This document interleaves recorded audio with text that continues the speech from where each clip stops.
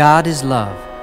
I guess I'll never comprehend that. Maybe because I grew up thinking God loved only good boys and hated the bad.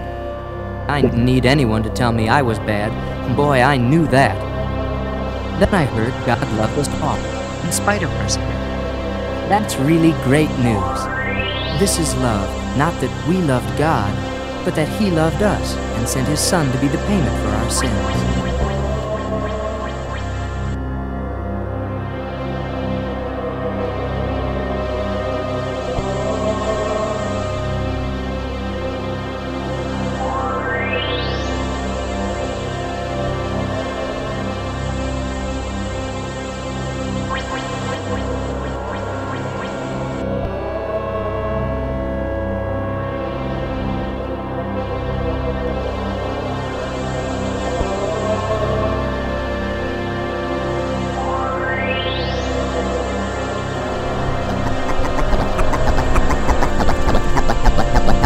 Day of the Lord will come as a thief in the night.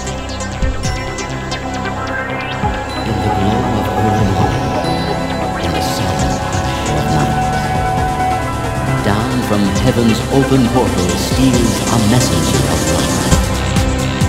Whispering sweetly to the spirit, while the hosts of heaven sing. This, the wondrous, thrilling story. Christ is coming. The King.